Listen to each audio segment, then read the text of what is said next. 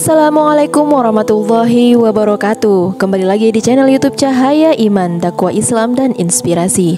Bagaimana kabarnya sahabat? Semoga Allah beri limpah kesehatan serta kelancaran aktivitas untuk kita semua. Di video kali ini kita akan membahas tentang Banyak ulama yang wafat.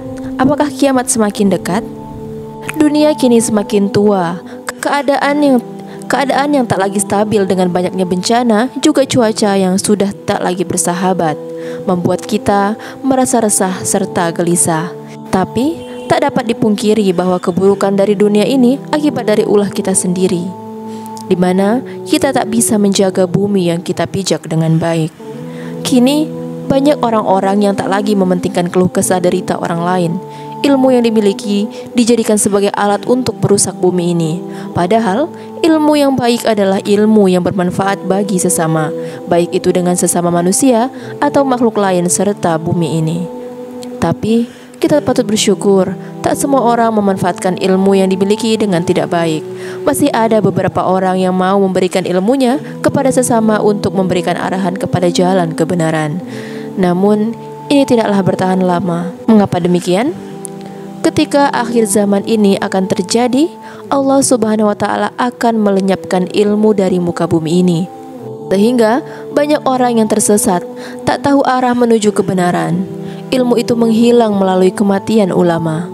Ya, ulama yang kini kita jadikan sebagai guru, cepat ataupun lambat akan mengalami masa pengakhiran hidupnya. Sungguh membuat hati cukup sedih jika mendengar berita wafatnya ulama. Terlebih, ulama tersebut adalah ulama ahlu sunnah yang sangat giat belajar, berdakwah, dan memberikan pencerahan yang baik kepada manusia. Ayub rahimahullah pernah berkata, Sesungguhnya, aku diberitakan mengenai wafatnya seorang ahlu sunnah. Seakan-akan aku kehilangan sebagian anggota tubuhku. Dengan wafatnya ulama, berarti Allah telah mulai mengangkat ilmu dari manusia. Rasulullah Shallallahu Alaihi Wasallam bersabda disebutkan dalam kitab As-Sahih dari Abdullah bin Amru Rasulullah Shallallahu Alaihi Wasallam bersabda sungguh Allah tidak mencabut ilmu dari hati manusia dengan mengangkatnya ke langit tapi ia mencabut ilmu melalui kematian ulama hingga ketika tidak ada lagi seorang alim pun orang-orang mengangkat orang jahil sebagai pemimpin mereka kemudian ditanya Lalu mereka memberi fatwa tanpa ilmu. Mereka pun tersesat dan menyesatkan. Hadis riwayat Bukhari, Muslim, At-Tirmizi, Ibnu Majah dan Ahmad. Para ulama pasti akan Allah wafatkan karena setiap yang bernyawa pasti akan merasakan kematian. Hendaknya kita terus semangat mempelajari ilmu dan mengamalkannya. Sahabat Abdullah bin Mas'ud radhiyallahu anhu berkata, Wajib atas kalian untuk menuntut ilmu sebelum ilmu tersebut diangkat atau dihilangkan. Hilangnya ilmu adalah dengan wafatnya para periwayatnya atau ulama. Demi zat yang jiwaku ada di tangannya, sungguh orang-orang yang terbunuh di jalan Allah sebagai syuhada, mereka sangat menginginkan agar Allah membangkitkan mereka dengan kedudukan seperti kedudukannya para ulama, karena mereka melihat begitu besarnya kemuliaan para ulama. Sungguh, tidak ada seorang pun yang dilahirkan dalam keadaan sudah berilmu. Ilmu itu tidak lain didapat dengan cara belajar. Mari kita semakin semangat menuntut ilmu, menyebarkan dan mengamalkannya. Karena hilangnya ilmu agama merupakan tanda-tanda akhir zaman dan dekatnya zaman fitnah.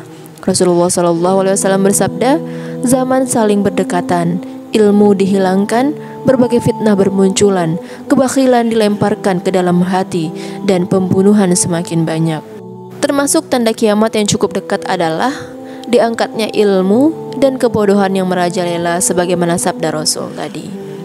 Allah Subhanahu wa taala juga berfirman, "Hanyalah yang memiliki khasyah atau takut kepada Allah dari kalangan hamba-hambanya adalah para ulama."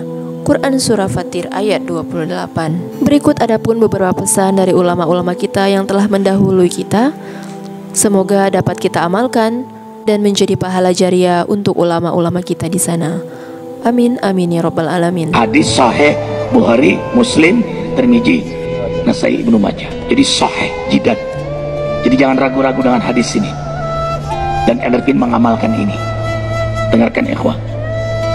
Rasulullah SAW bersabda Barang siapa bangun dari tidurnya Lalu dia membaca La ilaha illallah wahdahu la syarika lah.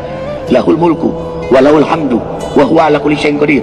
Subhanallah walhamdulillah wa la ilaha illallah wallahu akbar wa la haula wa la quwwata illa billah. Taghfirli ampuni hamba. Maka Allah ampuni dosa-dosanya. Allah terima sholatnya dan Allah ijabah doa-doanya. Saya kasih satu amalan. Insyaallah mudah-mudahan bermanfaat. Sedekah subuh. Sedekah subuh kenapa saya berkata sedekah subuh bukan berarti tidak boleh sedekah di waktu yang lain. Semua sedekah boleh. Di setiap waktu dan setiap saat. Hari Jumat maupun selain hari Jumat tapi sedekah subuh itu termasuk sedekah yang terbaik. Kenapa? Bukan kata saya tapi kata Rasulullah sallallahu alaihi wasallam. Setiap waktu subuh Allah turunkan malaikat. Tugasnya mendoakan orang yang bersedekah subuh hari. Allahumma a'ti munfiqan khalafa. Ya Allah ganti yang lebih baik bagi orang yang infak di subuh hari. Ibu-ibu lagi halangan tidak salat sebelum beraktivitas isi sedekah subuh. Anda tidak usah susah-susah mencari anak yatim dan orang miskin di subuh hari. Mulai hari ini masing-masing bikin kota amal atau botol atau kaling simpan di rumah setiap habis salat subuh sebelum beraktivitas isi sedekahnya apalagi kalau sedekah itu disertai doa. Begitu anda sedekah sebutkan hajatmu. Ya Allah dengan berkah sedekah ini ya Allah saya ingin nikah. Mudahkan jodoh. Nikah lagi juga boleh doa tak apa-apa. Ada yang sedang melamar kerjaan. Anda isi wallahi dahsyat amalan ini wallahi dahsyat. Manfaatnya banyak untuk menyembuh penyakit menabulkan hajat memudahkan urusan. Dan tidak pernah saya sampaikan amalan ini semua alhamdulillah berhasil mendapatkan hajatnya begitu anda isi doa. Ya Allah dengan berkat sedekah ini mudahkan lamaran kerjaan saya